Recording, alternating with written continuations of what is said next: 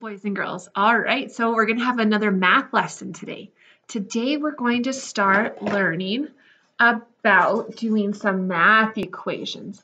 But before we start learning about adding, I want to talk about this sign right here. Does anybody know what this is called? Hmm. Yeah, it's called an equal sign. And basically what this equal sign means is that whatever is on one side of the equal sign has to be the same as the other side of the equal sign. And we'll talk about that. So it's kind of like a balance. So boys and girls, today I have a scale here. And I'm going to put my equation sign in the middle of the scale. Now this is a balance scale. So an equal sign wants it to stay flat. It wants our scale to be balanced. So whatever's on this side has to be the same as what's on this side. So boys and girls, look, if I put a block onto this side, is that equal? Are these balanced? No, this one is heavier. So I'm going to balance it by putting the same amount on the other side. See that? We're just going to wait a second till it stops wobbling. There we go. And look, now they're balanced again. So one block on one side equals one on the other side. All right, what if I put two on this side?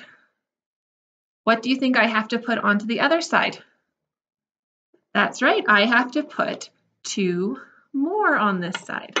So now it's balanced, now it's equal, equal. So three is equal to 3. All right, let's try, let's put on a couple more. If I put, I'm going to make it like a pyramid. Ooh, how many is that? Can you figure out how many that is really quick? There's 3 and 2, 5, right? So if I have 5 on one side, what do I need to have on the other side?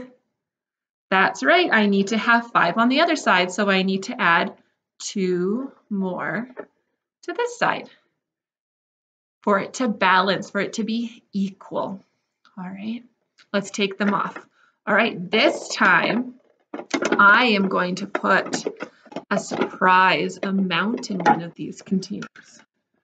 All right, so I'm not going to show you. Close your eyes really quick. Close your eyes.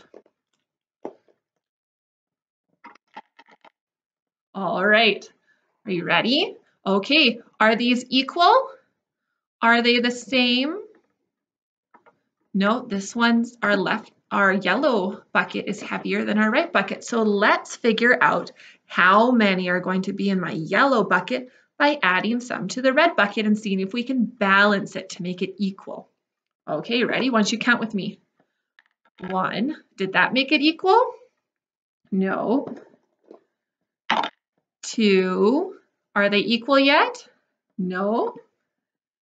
Three, are, is it moving yet? Nope. Four, oh, it's starting to move a little bit, but are we equal? Not yet. Five, oh, are we equal yet? No, it looks like our yellow is still a little bit lower. Let's add one more. Ready? Six. Let's see, there they are. Now they are equal. So we, if we have six on one side, how many will be in the bucket we didn't know? That's right, six. So let's count. Take them out. Ready? So we had one and one, two and two. Let's put those together. Three and three.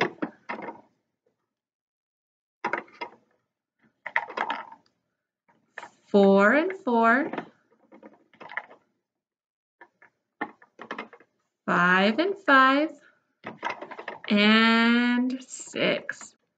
So each bucket needed to have six in it to be equal. All right, now boys and girls, what I want you to do is I want you to take your page protector and I want you to put this sheet inside the page protector and then I want you to watch the next video. All right, see you in a couple seconds.